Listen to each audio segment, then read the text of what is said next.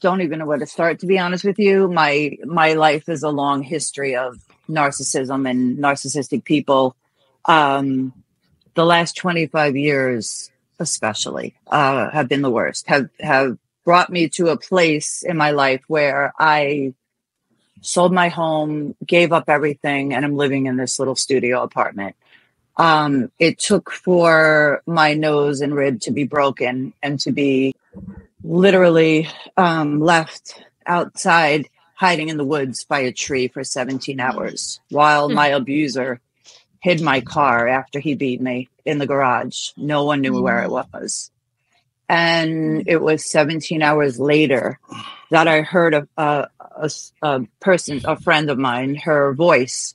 Um, she went to my door. I was watching her dog and she hadn't heard from me and knew something was wrong.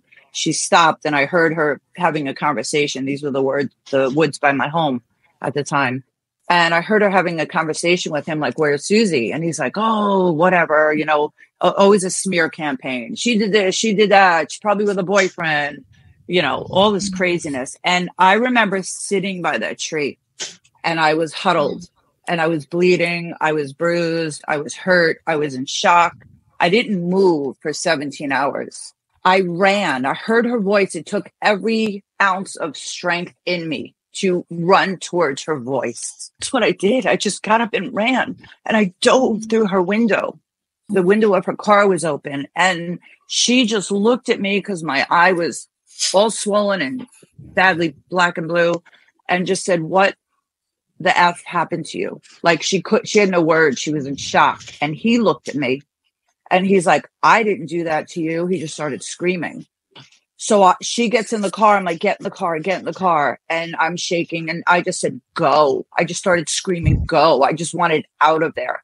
So while we were there, um, my phone was on the side of the road because I had pulled up in my in my car and he had come over to the we weren't we were having an argument. I wasn't staying there. It was always an argument. I'd always have to leave my home. So this was one of those times. And I had pulled up in front of my home and he was outside putting the garbage pails out and kind of stopped me. So I stopped the car and he came over to the driver's side, opened the door, pulled me out and just started beating me. I was able to hit the record button on my phone and I got about 45 seconds of him beating me.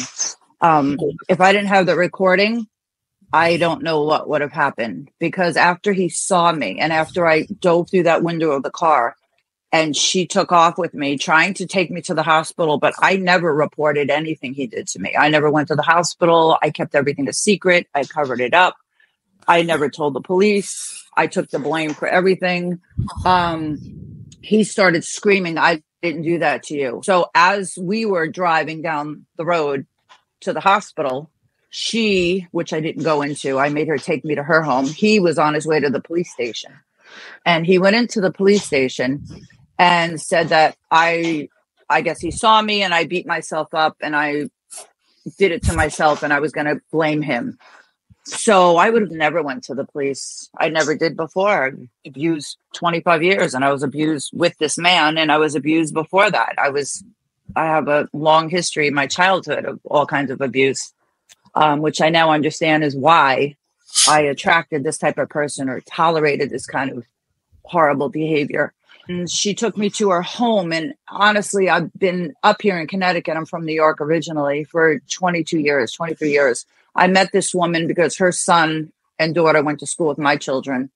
And over the years, when I would be beaten up, I would go because she lived in the woods in a log cabin, and I would go hide out for a couple days after the beatings. Um, I she brought me home to her home, and it was in our routine. You know, this time was worse than ever, clearly, because I was never bruised to that extent. I never had broken bones before.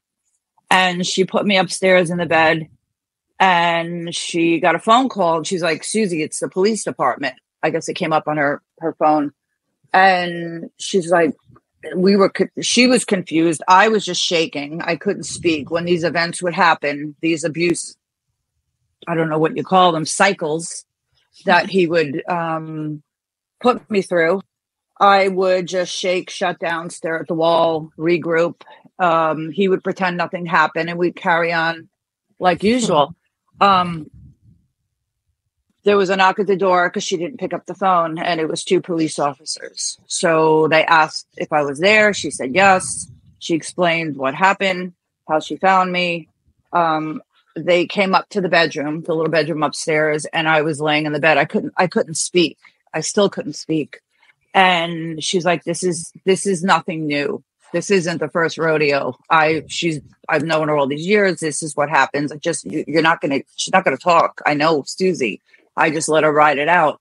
So they looked at me and they they were questioning me like, did I do this to myself? And the woman whose home I was in said, wait a minute, I have her phone. Because in the car, I had said I hit the button. I don't know if I record anything. I didn't know anything. So hmm. my phone was dead. It was broken. Um, the police officer plugged it in, they charged it, and on that phone was him beating me, screaming, I'll call the effing police and tell them I beat you in the driveway as he was beating me. And at the end of the 45 seconds or whatever it was, was the horn because I was screaming for help as he dragged me out of the car. So my story, the timeline all coincided with her, her story and me saying he beat me up. So they called an ambulance immediately. Um, they said everything has changed. This we uh, it was a younger officer with an older officer, and he says I'm literally in shock. Were his words? He says I cannot believe this is the same man that walked into the police station. I'm getting goosebumps an hour before.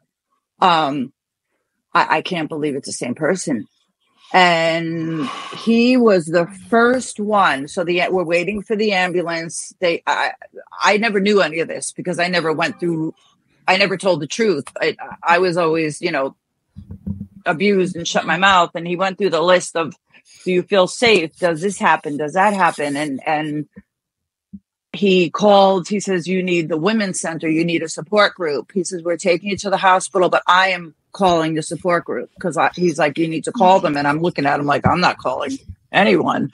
So the ambulance takes me. He calls um, in Danbury here in Connecticut, the center, um, the support group for women, um, and domestic violence, sexual assault. They, they cover everything. And I went to the hospital and they did x-rays cat scans. He broke my nose. He broke my hmm. rib.